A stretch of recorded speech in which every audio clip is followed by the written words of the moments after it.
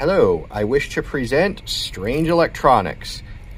These little widgets are kind of interesting. So I was looking for one of these component testers a little while back and I was thinking to myself, why not get one where it's rechargeable by USB cable, has an internal battery, and I stumbled across this one which is actually a component tester and it also is apparently a digital oscilloscope. Insert somewhat shocked gaze here. So when you turn this on, it gives you two options. One of them is the typical component tester, which is telling me insert part, feed me. But either way, the more bizarre part of it is that it has this oscilloscope mode. And I wanted to address something that the manufacturer Fnur, Fnord, let's just call them Fnord. Uh, yes, something that Fnord did not address, which is very important. So this uh, this has two functions that are running right now. It has the oscilloscope and a PWM signal generator, which I don't remember if this is default or if I just left it set this way, but this is going to become important in just a moment because a lot of the reviews with it say, well, it includes this standard oscilloscope probe, has a little adapter from BNC to, I believe this would be MCX. I'm not certain, but it has three input connectors on the top, or two inputs and one output rather. The DSO port is the input, PWM is that signal generator output, and this one is used for a voltmeter function, which is really clunky and awkward. Uh, but the important part here is, along with the bits that come with this probe, there's this little screwdriver bit, and there's a little trimmer hole here in the probe. They did not, in this incredibly useful manual, mention how to set your probe compensation. And a lot of the reviews on this scope I find online have complaints about the fact that the user put in a square wave signal, did not get a square wave on screen. So let me set this up and see about how to compensate it. So this user interface is absolutely lovely. To select the highlighted parameter, just press OK about a zillion times until it rotates around to where you want it. And that includes these settings for PWM, frequency, and duty. But thankfully, there's also an auto set function. So let me just... This is the most charmingly slow auto set I've ever seen.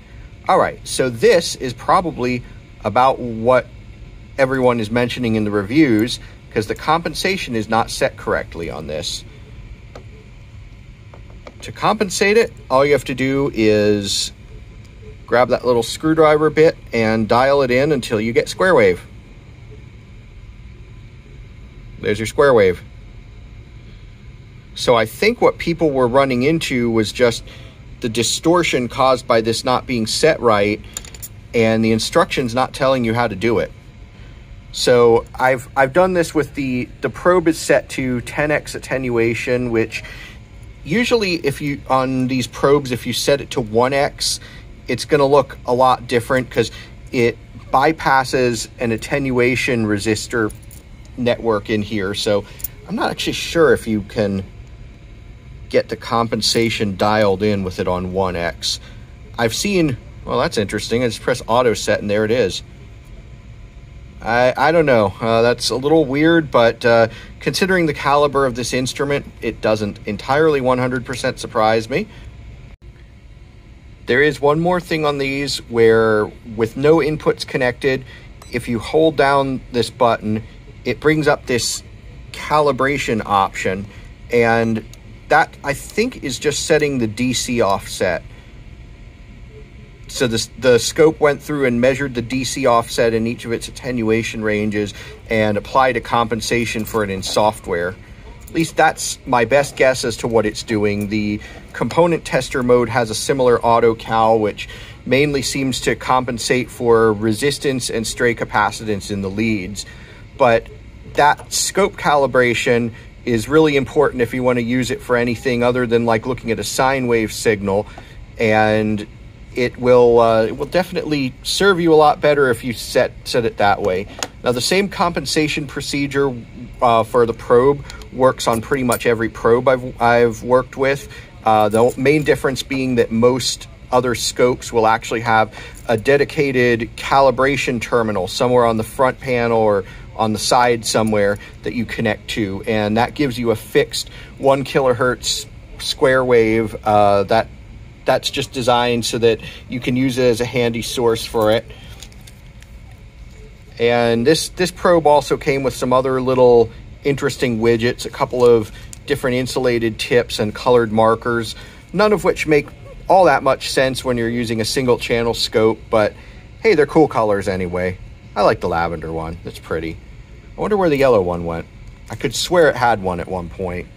I probably stole it and put it on another probe.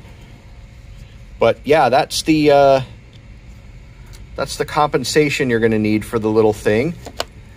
And this back panel here is just a cool little stand that I constantly forget it has. So you can stand it up there and let the leads stick awkwardly out of the top. It's pretty cool. For, for about a uh, $50 tool, it's, uh, I'm actually pretty impressed with it. It's more expensive than the little component testers are alone, but I think it's pretty nice just to have that uh, just to have that goofy little scope for audio in it and the uh, ability to just recharge it and not have to mess with 9 volt batteries.